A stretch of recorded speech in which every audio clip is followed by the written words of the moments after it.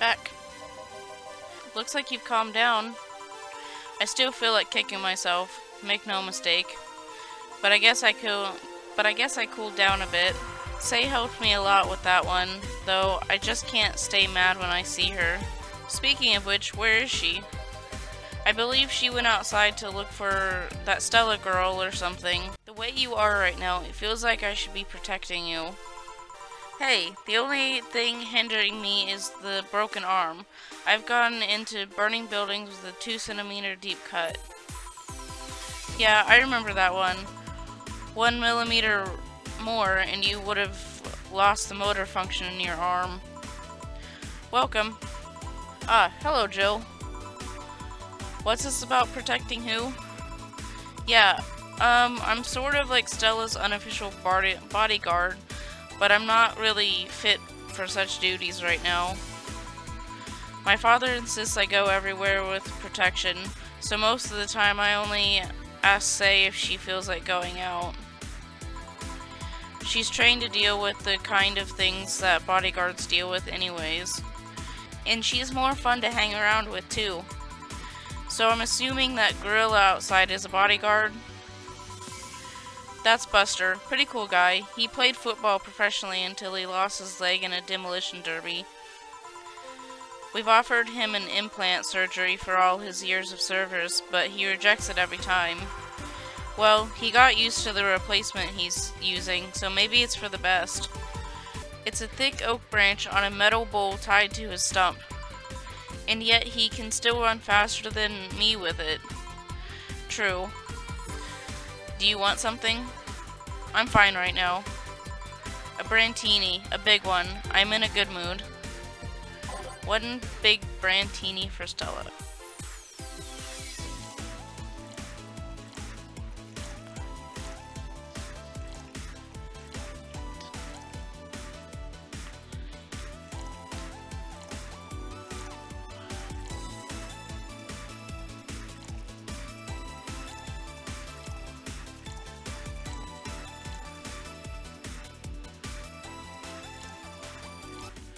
All aged and mixed. Ooh, almost missed that. Here. After all these years, I still don't get why the finest and most expensive things come in small packages. Ever tried to go to a restaurant only for them to serve you a really small portion of some fine food? Sometimes you just want to stuff yourself with really cheap food. Sei, let's go for some hamburgers later. I'm not ta I'm not taking no for an answer. I know what you mean when you say some, you know. You might as well call the place and tell them to prepare everything in advance. Can I ask you two something? Sure. I guess. How did you two meet? Stella showed up in the park I used to play at when I was a kid.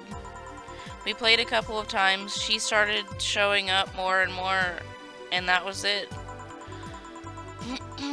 My father told me that when I was five, I kept insisting on going to a real kids park. We drove for some time, and the park I liked was the one Sei happened to be at.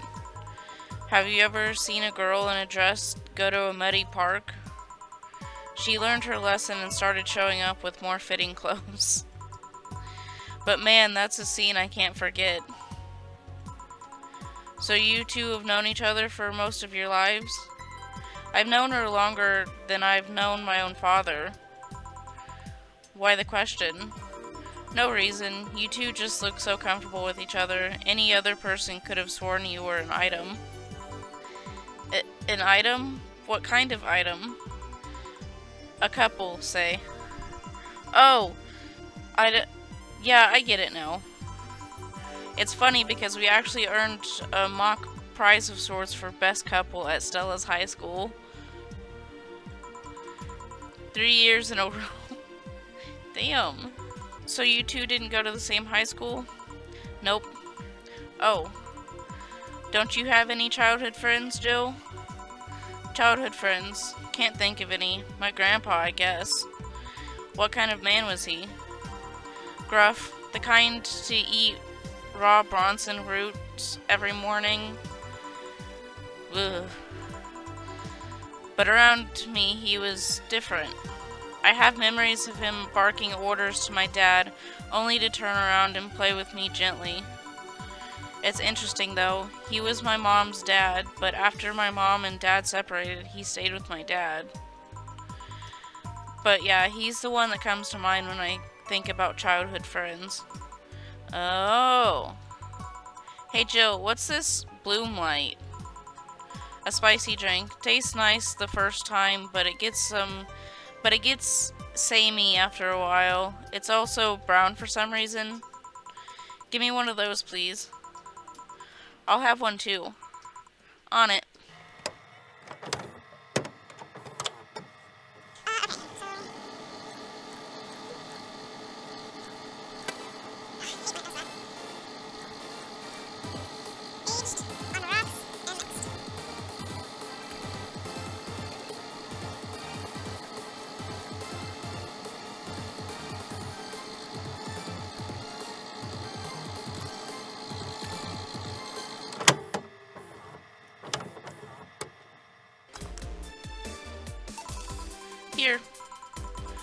Don't know. I kind of like it. Yeah, but after the third one, it starts tasting like sand. Spicy sand, but sand nonetheless. Who's... Oh, dimming the light. Huh. I guess she had too much before I came. See, I was just thinking that she's had a lot to drink. Kinda.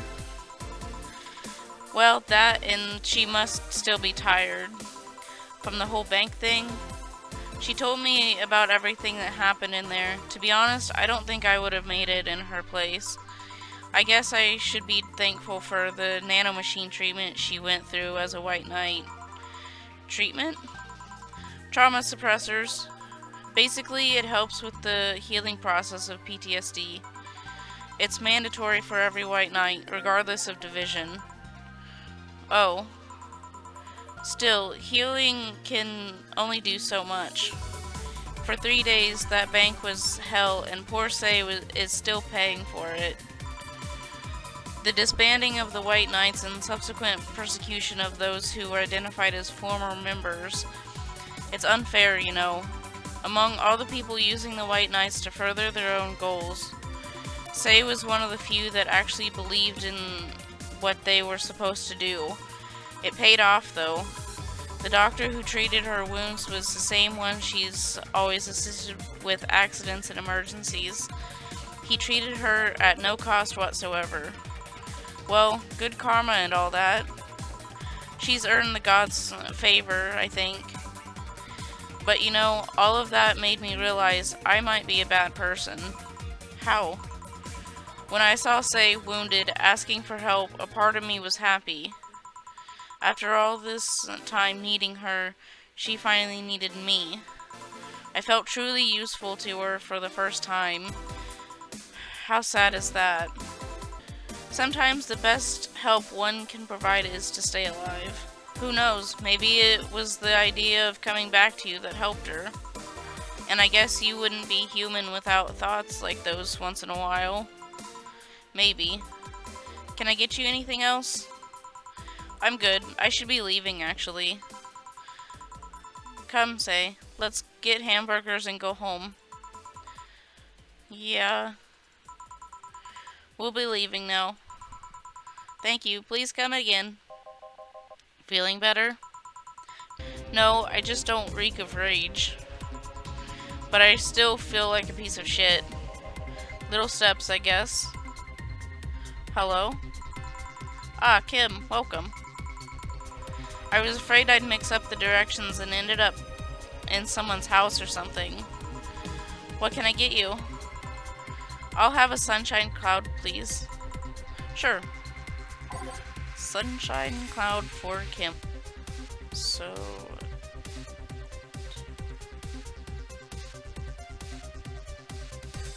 Uh, let's not do let's not do conversion. Uh, on the rocks.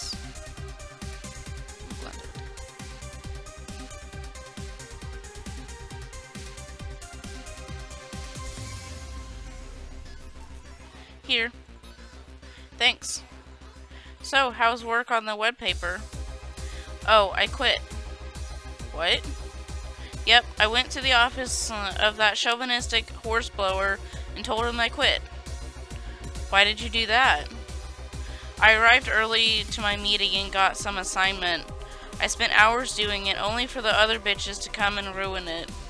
After that, I didn't have time left, so my supervisor scolded me. So I snapped and quit on a whim. Oh.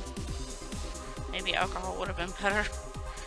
Don't you have don't you have any second thoughts? Regret anything?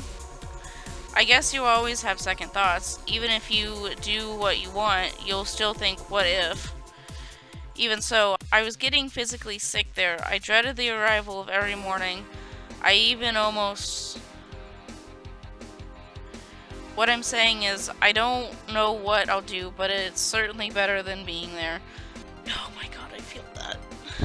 I feel that so much. I feel free.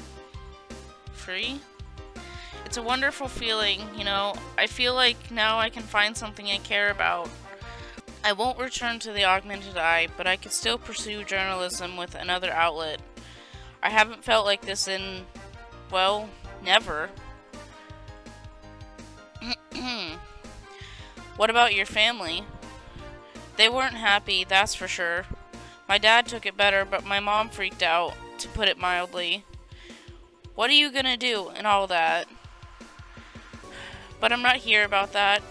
Give me a big drink, please. What kind? I don't know. Bubbly or something? Something big and bubbly, huh?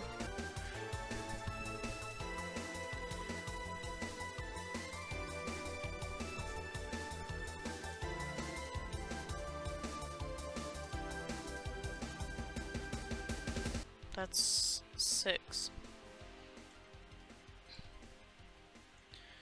And then ten.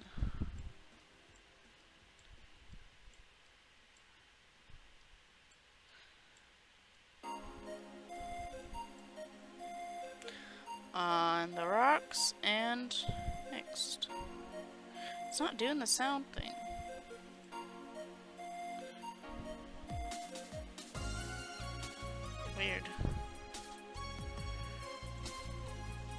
Here. If detergent commercials are to be believed, this will clean out my insides. It'll also kill things inside you. I gotta ask though, how did you end up working there? No deep reason. That's what I did when I got out of high school. Taking a year off was out of the question, so I went for the first thing I thought about. But I couldn't get into the robotics course, so I settled for journalism. To be honest, I got tired of the job midway through it, but I couldn't bring myself to leave. Too much pressure from my family. It's a real it's a really common tale, I guess. Did you have troubles like those? Same story as you. I just went through the motions. From high school to college, I never stopped to think about what I was doing. And then, at some point, I just felt like my life slipped through my fingers. Suddenly, all I wanted was freedom, a little pause, to stop and take a breather. And my life went to hell for that fucking breather. Uh, um, give me a, or something. Something? So, sorry, I just have a dry mouth. Anything will do. Alright. She asked for uh, something, literally.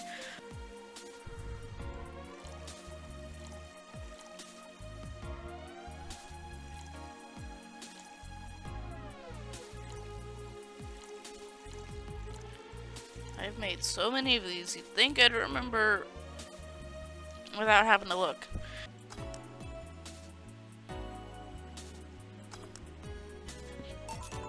Here. Thanks. I feel like I asked something I shouldn't have. Don't fret about it. I'm just in a rough spot right now. What are you gonna do now? Honestly, I don't know. I do feel liberated, however. Like, I can do whatever I want, study whatever I like, work wherever I want. I know it's not that way and it won't be easy, but I feel a lot more confident than when I was out of high school. I honestly don't get why they put young people who barely know how society works through that one. Well, I wish you the best of luck. Your mental health should be your priority and all that. Thanks, I really needed the encouragement. Come back if you need more encouragement. I wouldn't dare leave someone alone when it comes to this sort of thing. Thanks. Bye, Joe. Please come again. You should take some of that advice for yourself. I know, I know. Let's call it a day for now. You need some rest. Yeah. Honey! Ah, Dorothy. Sorry, we're just closing. I know, I came for you. For me? W why are you hugging me? I paid her to do that. All night long. you fucking shitting me? Come again? To put it simply, Dorothy will go home with you and she won't leave your side. What do you hope to accomplish with that? Well, at first it was to calm that rage you had earlier. It was either hugs or a cold bucket, and I don't promise there will there will be any water in it. God damn it, Dana. You calmed down a bit, but honestly, I know better than to leave you alone for another night. At the very least, all the cuddling will give you an epiphany or something. That's some alien reasoning right there. It's not. You need hugs. Many. You need some human or humanoid contact right now. You had your alone time. Now we're playing by my rules. Please take care of me.